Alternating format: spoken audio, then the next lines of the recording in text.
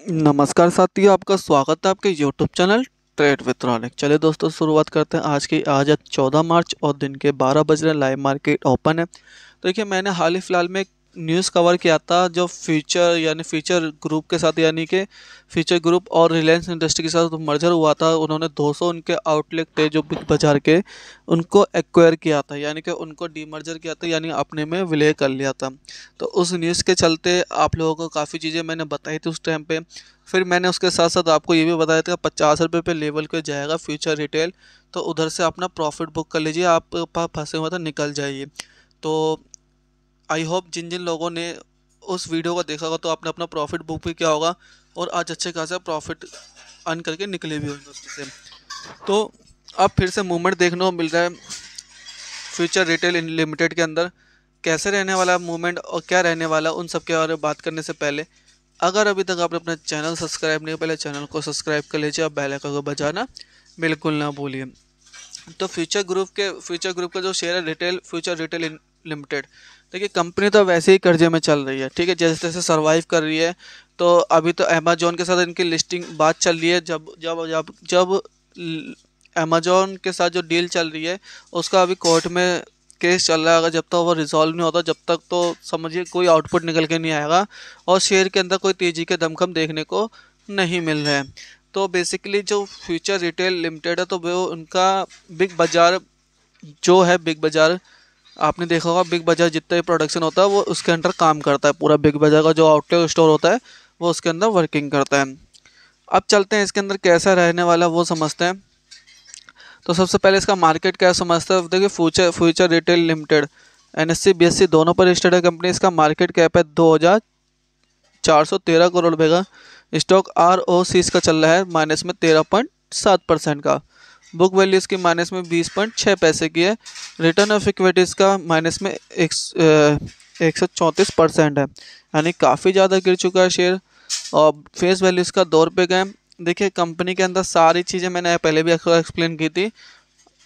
अब इसके अंदर ज़्यादा एक्सप्लेन करने की ज़रूरत है चलिए, आज के दिन समझता है इसका ट्रेडिंग सेशन कैसा चल रहा है, फिर उसके चार्ट पर व्यू देखेंगे कि चार्ट पे कैसे व्यू देखने को मिल रहा है कि यहाँ से तेज़ी मिलेगी या गिरावट मिलेगी, वो समझते हैं। तो प्लीज़ वीडियो का पूरा देखिए और वीडियो को लाइक करना बिल्कुल ना भूलिए। देखिए फ्यूचर रिटेल लिमिटेड तो ये आज का जो आउट निकला है, मैंने गूगल पर ओपन कर रखा है। अभी ये मोटा मोटा चार परसेंट गिरावट के साथ ट्रेड कर रहा है। आज ये ओपन होता है पैंतालीस रुपये साठ पैसे पे। हाई मारा ने छियालीस रुपये पचास पाँच पैसे का। लो मारा ने तिरालीस रुपये अस्सी पैसे का। फिफ्टी टू हाई इसका छिहत्तर रुपये पच्चीस पैसे का। फिफ्टी टू लो इसका चालीस रुपये पचपन पैसे का। पाँच दिन के अंदर इसने अभी तक मोटा मोटा नौ परसेंट गिरावट दिखाई इसने अभी तक वन मंथ के अंदर डेढ़ परसेंट गिर चुका है। सिक्स मंथ के अंदर ये साढ़े छः परसेंट गिर चुका है। ईयर टू डेट के अंदर इधर ग्यारह पॉइंट बीस परसेंट गिर चुका है ये। तो गिरावट तो काफ़ी टाइम से देखने को मिल रही है, लगातार छः महीने में देखेंगे तो वन मंथ में अंदर देखेंगे तो अच्छी खासी, पाँच दिन के अंदर इसने अच्छी खासी गिरावट दिखा चुका है शेयर अब ये आगे कैसे रहने वाला वो मूवमेंट समझते हैं। तो देखिए, मैंने इसका डेली चार्ट ओपन कर रखा है ये। तो जैसे ही डेली चार्ट पे क्या इंडिकेशन आ रहा है, वो समझते हैं।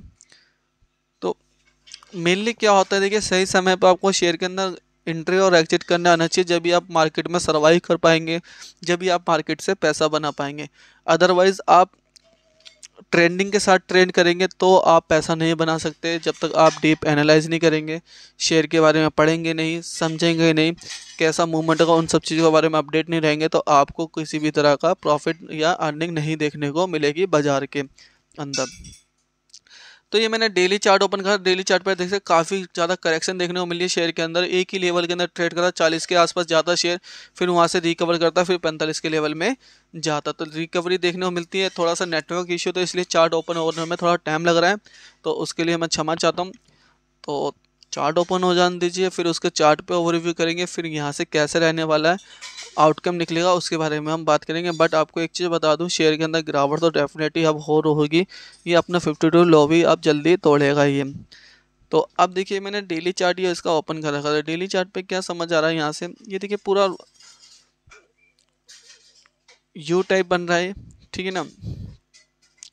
अब ये विक्ट्री साइन बन रहा है तो आप देख सकते हैं ये पूरा राउंडिंग पैटर्न जब ये बन रहा है डाउनफॉल की तरफ़ तो ये और गिरावट को इंडिकेट कर रहा है, और यहाँ पे देखिए क्रॉस मूविंग जैसे होगी, यानी सेवन डेज़ की मूव डाउन जाएगी, और ट्वेंटी वन डेज़ की अब जाएगी तो इसमें और गिरावट देखने को मिलेगी। ये जल्दी अपना फिफ्टी टू लो भी तोड़ेगा यहाँ से। अगर तिरालीस का लेवल ये तोड़ता है, यानी तिरालीस के लेवल को होल्ड नहीं कर पाता तो इसमें जल्दी आपको चालीस से नीचे भी ट्रेड करता नज़र आएगा।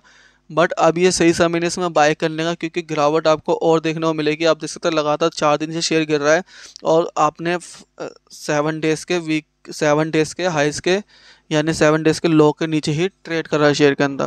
तो गिरावट तो अभी और दमखम दिखाएगी यहाँ पे और शेयर के अंदर देखिए एम एस क्रॉस मूविंग हुई है और देखिए आर एस आई भी हमारा अभी डाउनफॉल के टर्म ट्रेड कर रहा है, यानी थर्टी नाइन के आसपास जा चुका है आर एस आई तो इसमें और गिरावट के दमखम देखने को मिल रहे हैं। अब आपको क्या करना है? अगर आपके पास शेयर है छोटा मोटा लॉस है तो आप होल्ड करिए अदरवाइज़ इसमें अब गिरावट के डाउनफॉल देखने को मिले, जल्दी अपने फिफ्टी टू लो भी तोड़ेगा, यानी चालीस रुपये के नीचे जाने के दमखम इसमें और भी ज़्यादा दिख रहे हैं यहाँ से।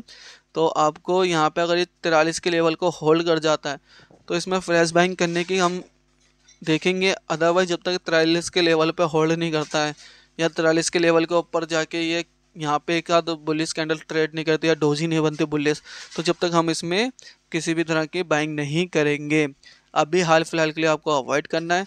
अगर आपके पास छोटा मोटा लॉस हो तो निकल जाइए, बड़े, बड़ा लॉस हो तो आप होल्ड करिए। बल बट फ्रेश बाइंग आपको बिल्कुल नहीं करनी है इस शेयर के अंदर। क्योंकि तिरालीस का लेवल अगर होल्ड नहीं कर पाता तो जल्दी है चालीस का लेवल थोड़ा चालीस में, पैंतीस तक के लेवल इसमें देखने को मिलेंगे। पैंतीस के क्यों बता रहा हूँ मैं आपको?